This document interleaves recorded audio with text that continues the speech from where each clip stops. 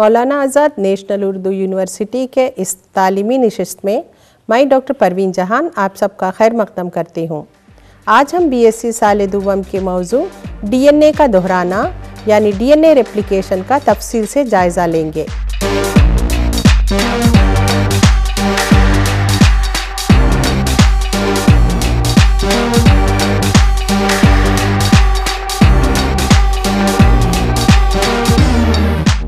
हर जिंदे असाम की खसूसियत होती है उसकी पैदाइश और नशो नुमा के अमल से। एक खलवी असाम जैसे कि बैक्टीरिया में पैदाइश का अमल बाइनरी फिजन के ज़रिए होता है। और कसीर खलवी असाम की तरक्की और मरम्मत में भी खलवी तकसीम का अमल आता है। इसी तरह एक खलवी बैक्टीरिया जैसे असाम हो या कसीर खलवी इंसान हो, खलियों की तकसीम ज़रूरी है। और इस अमल के पहले डीएनए, जो कि जीनियाती मादा है, उसका दोहराना लाजमी हो जाता है।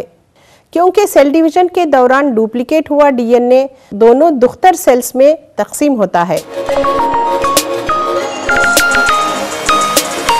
इस मैकेनिज़्म के बारे में बहस करने से पहले हम एक बार डीएनए के साख्त के बारे में सबका नशस्त में जो सीखा था, उसको मुख्तसरा दोहरा लें।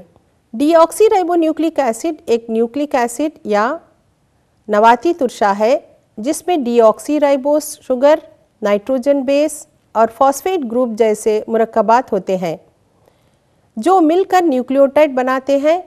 कई न्यूक्लियोटाइड जुड़कर पॉलीन्यूक्लियोटाइड चेन बनती है। दो पॉलीन्यूक्लियोटाइड जंजीरें एक दूसरे से हाइड्रोजन बंध के ज़रिए जुड़ते हैं, जो कि दो नाइट्रोजन बेस के दरमियान होते हैं। आपस में दो स्ट्रैंड्स मिलकर डबल हेलिकल स्ट्रक्चर बनता है। हम ये भी जानते हैं कि हर मर्तबा थाइमिन बेस एडिनाइन से और साइटोसिन ग्वानिन से जोड़ी बनाता है, जिन्हें हमें कॉम्प्लीमेंट्री बेसिस कहते हैं। न्यूक्लियोटाइड चेन के दो अख्ताम यानी एंड्स होते हैं, एक को थ्री प्राइम एंड और दूसरे को फाइव प्राइम एंड कहते हैं। इस अख्तला की बुनियाद पेंटो शुगर है। एक डीएनए स्टैंड का डायरेक्शन फाइव प्राइम से थ्री प्राइम होता है और उसके मुकाबिल स्टैंड का डायरेक्शन थ्री प्राइम से फाइव प्राइम होता है। जीनियाती मादा डीएनए आम तौर पे प्रोकैरियोट्स में, खलियों में और यूकैरियोट्स में मरकज़ यानी न्यूक्लियस के अंदर कॉम्पैक्ट सा पाया जाता है। रेप्लिकेशन के दौरान ये खुलता है यानी रिलैक्स होता है ताकि कॉपिंग का अमल अंजाम हो। यूकैरियोट्स में डीएनए का दोहराने का अमल सेल साइकिल के सिंथेसिस मरहले में होता है, जिसको हम S phase of cell cycle भी कहते हैं। सेमी कंजर्वेटिव रेप्लिकेशन अमल की मिकानियत की आसान फहमी के लिए हम इसको कई एक मरहलों में दर्जा बंद कर सकते हैं। डीएनए रेप्लिकेशन की तैयारी का पहला अमल है रेप्लिकेशन फोर की तश्कील। डीएनए रेप्लिकेशन अमल के शुरुआत में डीएनए डबल हेलिकल स्ट्रक्चर के दोनों रेशे हेलिकेज एंजाइम के मदद से अलग होकर दो सिंगल स्टैंड्स बनते हैं या बनाते हैं। सिंगल स्टैंड्स बनने के लिए नाइट्रोजनस बेसिस के दरमियान जो कमज़ोर हाइड्रोजन बॉन्ड्स होते हैं, वो इस एंजाइम के ज़रिए टूटते हैं और पॉलीन्यूक्लियोटाइड जंजीर को अलहदा कर देते हैं। हम इसको अनजिपिंग ऑफ़ डीएनए कहते हैं। जहाँ से स्टैंड्स अलहदा होते हैं, वहाँ अंग्रेज़ी हर्फ वाई के शक्ल में दो शाखा बनता है, जिसको रेप्लिकेशन फोर्क कहते हैं। इस रेप्लिकेशन फोर्क के डीएनए सिंगल स्ट्रैंड्स नए बनने वाले रेशों के लिए सांचे का काम अंजाम देते हैं। हम ये जानते हैं कि डीएनए डबल हेलिक्स के दोनों रेशों का डायरेक्शन ऑपोजिट होता है, जिसको हम एंटी पैरेलल भी कहते हैं। अगर एक रेशे का डायरेक्शन फाइव प्राइम से थ्री प्राइम होता, उसके मुकाबिल रेशे का डायरेक्शन क्या होता है? वो three prime to five prime होता है। फाइव प्राइम में फॉस्फेट ग्रुप और थ्री प्राइम में हाइड्रोक्सिल ग्रुप पाए जाते हैं। डीएनए रेप्लिकेशन सिमती है, जो कि हमेशा फाइव प्राइम से थ्री प्राइम डायरेक्शन में ही हो सकता है। क्योंकि DNA polymerase enzymes DNA replication के दौरान 5 प्राइम से 3 प्राइम के डायरेक्शन में ही घूम सकते हैं।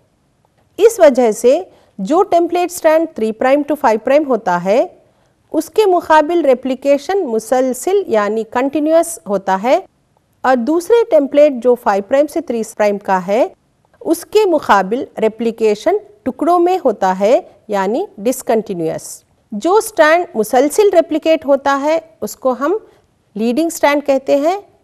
और जो डिसकंटिन्यूस या टुकड़ों में होता है, उसे हम लैगिंग स्टैंड कहते हैं। बहरहाल, डीएनए का, दोहराने का अमल रेप्लिकेशन फोर्क में दोनों ही स्टैंड्स के मुकाबिल होता है। एक में कंटिन्यूसली दूसरे में डिसकंटिन्यूसली इसीलिए इसको बाइडायरेक्शनल रेप्लिकेशन कहते हैं।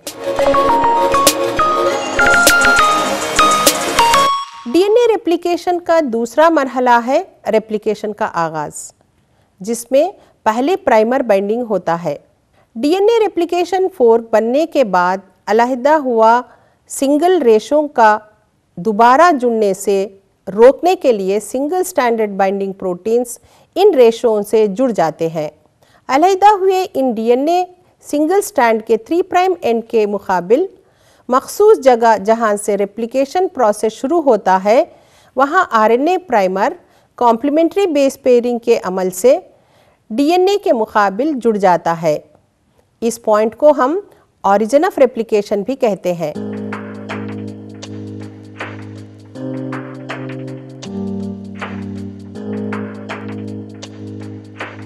आरएनए प्राइमर एक छोटा सा राइबोन्यूक्लिक एसिड का टुकड़ा होता है जो डीएनए के उस इलाके से, यानी उस रीजन से कॉम्प्लीमेंट्री करता है, जहाँ से रेप्लिकेशन का आगाज़ होता है।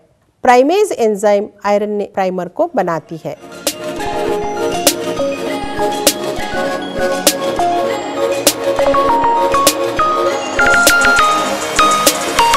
नए डीएनए मॉलिक्यूल को बढ़ाने में डीएनए पॉलीमराइज एंजाइम्स यानी खामिर, अहम हिस्सा लेते हैं।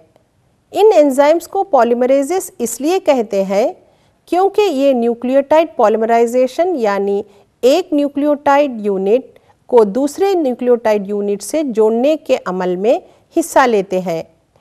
जैसे कि पुराने डीएनए रेशे के न्यूक्लियोटाइड की तरतीब के मुताबिक, जिसको टेम्पलेट या सांचा भी कहा जा सकता है, ये एंजाइम आरएनए प्राइमर से नए न्यूक्लियोटाइड को जोड़ती है इस तरह नए रेशे बढ़ते हैं, जिसको हम डीएनए एलोंगेशन का अमल कहते हैं।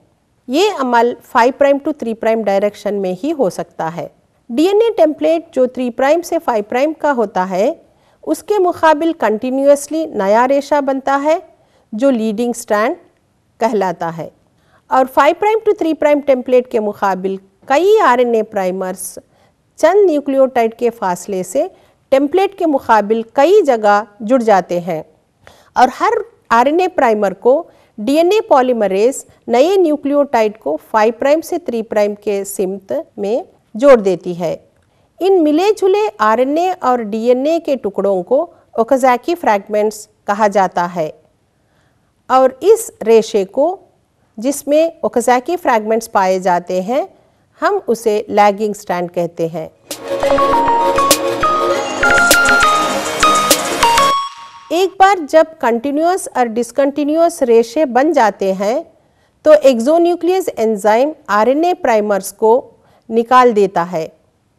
हर ओकाजाकी फ्रैगमेंट से जुड़ा हुआ आरएनए प्राइमर तहलील, यानी डाइजेस्ट होकर उसके जगह टेम्पलेट के तहत मुनासिब डीएनए न्यूक्लियोटाइड से तब्दील हो जाता है।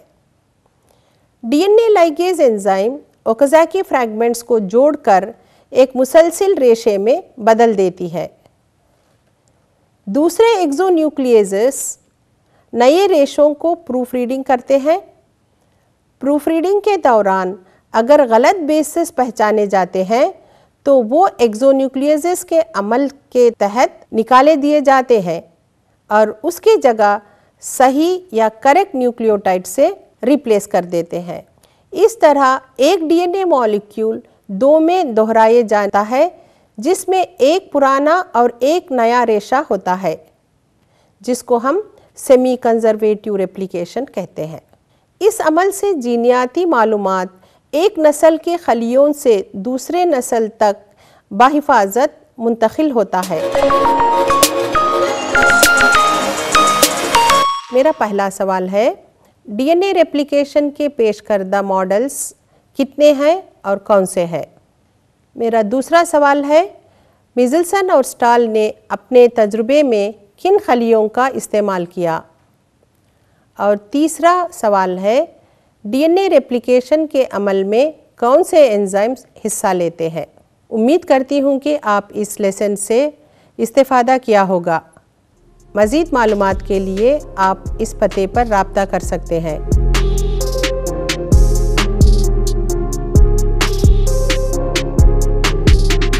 अगली नशस्त में हम किसी दूसरे मौजू पर बात करेंगे। तब तक के लिए इजाज़त दीजिए। आदाब।